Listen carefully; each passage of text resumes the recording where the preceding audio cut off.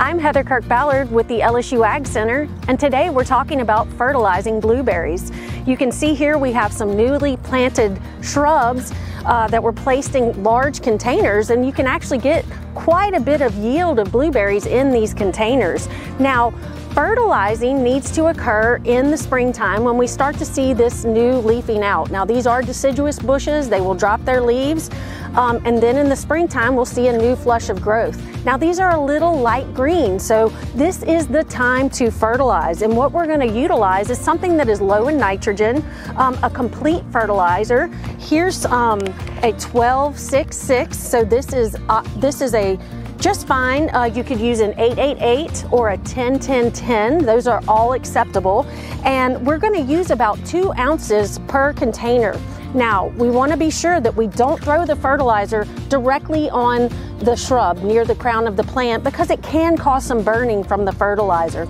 So what you wanna do is kind of spread it out around the drip line and be sure to water in when you're done.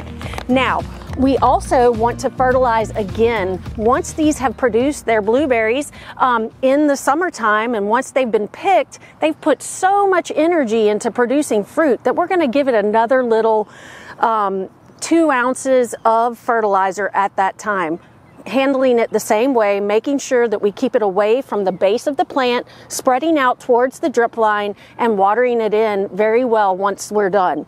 Now, with larger plantings, those that have been in the containers for a while, you can go more. We can go more on the four to six ounces when we're fertilizing with that. But remember, a complete fertilizer, an 888, something that has low nitrogen. If you notice any yellowing, um, intraveinal chlorosis can often be caused by a deficiency of iron. So you can also use an iron plus soil acidifier. Now, a tablespoon per pot is adequate. And we want to just bring to mind that blueberries actually prefer a very acid soil from a pH of 4.5 to 5.5. So this acidifier can help with that.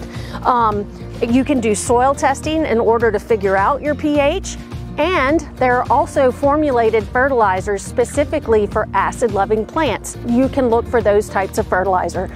But remember, we want to fertilize it in the spring when we see the leafing out before the buds begin to come on, and then again once the bushes have produced.